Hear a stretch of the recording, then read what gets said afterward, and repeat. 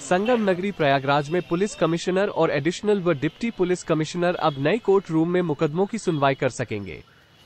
नई court room Katra इलाके में स्थित पुलिस ऑफ़िस में तैयार की गई है। नए कोर्ट रूम का उद्घाटन पुलिस कमिश्नर रमित शर्मा ने एक सादे समारोह में किया।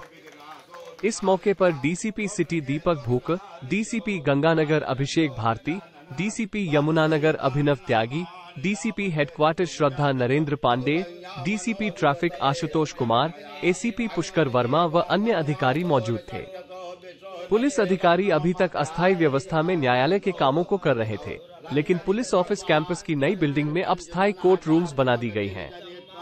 पुलिस कमिश्नर रमित शर्मा ने इस मौके पर बताया कि नई कोर्ट रूम बनने के बाद अब वोटकारियों के साथ ही वकीलों और अधिकारियों को भी सुविधा होगी उनके मुताबिक इन कोर्ट रूम्स में पुलिस अधिकारी गुंडा एक्ट और गैंगस्टर समेत तमाम मामलों में सुनवाई कर सकेंगे।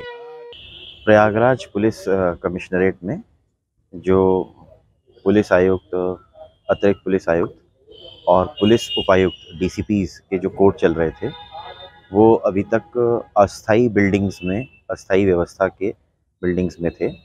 अब परमानेंट इंफ्रास्ट्रक्चर देते हुए जो परमानेंट रूम्स हैं, वो इनको अलॉट कर दिए गए हैं।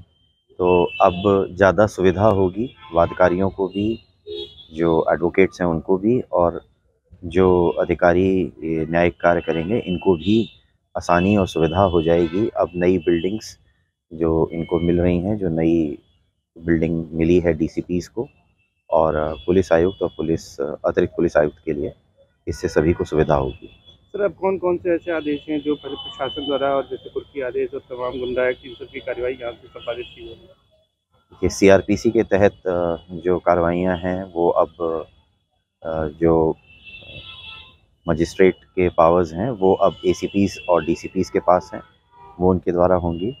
और चौदह अन्य एक्ट जिसमें गुंडा और गैंगस्टर एक्ट हैं, इनकी भी जो पावर्स हैं, वो पुलिस आयुक्त और अतिरिक्त पुलिस आयुक्त के न्यायालय के द्वारा संपादित की जाएँगी। बार एसोसिएशन के अध्यक्ष व अन्य पदाधिकारियों ने इस मौके पर पुलिस कमिश्नर और अन्य अधिकारियों से मुलाकात कर नई कोर्ट रूम्स बनाए जाने पर उनका आभार जताया और कहा कि इससे वकीलों व वोटकारियों दोनों को ही अब पहले से ज़्यादा सुविधा होगी। गौरतलब है कि संगम नगरी प्रयागराज में भी दिसंबर 2022 से पुलिस कमिश्नर सिस्टम काम कर रहा है।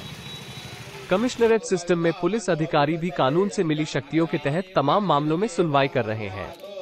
यतो विशो न देवानो मध्यारिदकार्गन्तो पतिर्दौ लन्तरिक्षत्वा